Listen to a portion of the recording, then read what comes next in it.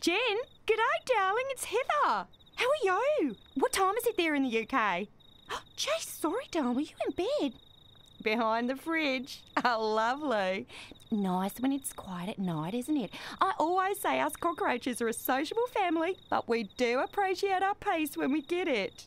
Just wanted to run through the plans for the reunion while the bar is quiet. I've been busy. No, Bruce has been no help at all. Cockroach men, eh? Just leave it to the females.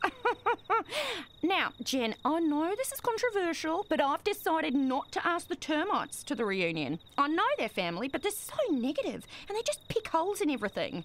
I've said we'll have the cousins from Madagascar if they'll keep the hissing to a minimum. It's so upsetting during the speeches. People think they're being heckled.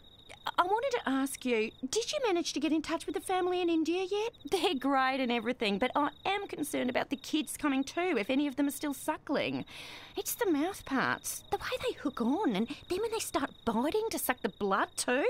No one wants to see that next to the buffet, and we have been so lucky with the caterers. They do everything rotten, from scratch, and they don't even charge extra for vomiting over the food.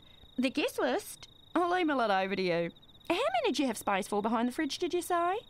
18 at a push.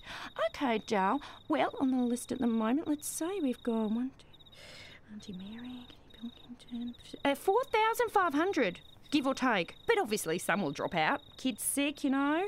Is there anywhere we could spill over into, do you think? Next door? Oh, marvellous. They're students? Oh, Dal, I don't think I fancy that. They'll be filthy.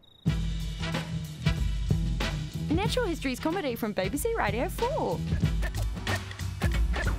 to hear from more like me, go to bbc.co.uk slash natural histories.